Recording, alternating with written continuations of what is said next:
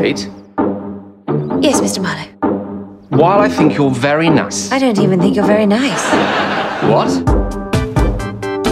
What part of the sentence, the richest man in Southwark, are you not getting? The part which says I do not love him! Better the exploitative, opportunist, gold-digging rogue. You know. I hate, hate, hate them! But if if you don't secretly love each other, why have you been trading arch and impish insults these many weeks? Because we're really sick of each other? Deeply irritated? Hey! I don't want a man to marry me if it means I must needs deny myself. Clever birds, Will. They'll end up making a deal of trouble in the world, just you watch. Looks like promoting tolerance and understanding might be a bit of a bigger project than we thought. Yes, Mr. Shakespeare.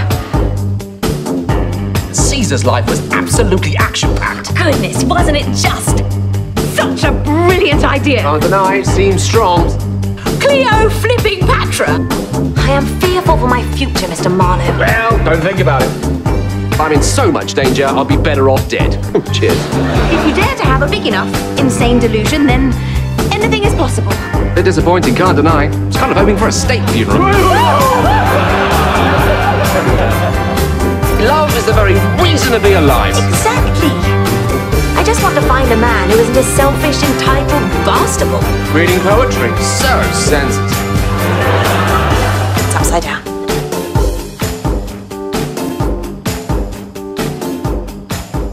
Well, that was all a bit weird.